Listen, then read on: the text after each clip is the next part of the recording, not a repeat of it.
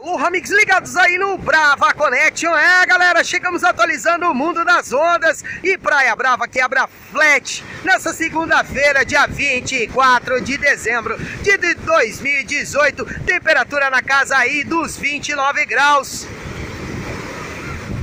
com mais um oferecimento do Sirena Garden Hostel e Camping de frente pro mar, na praia de São Miguel, no município de Biguaçu, ao lado de Florianópolis. Ainda tem umas vaguinhas lá para você passar o ano novo, então entre em contato com a galera via Instagram.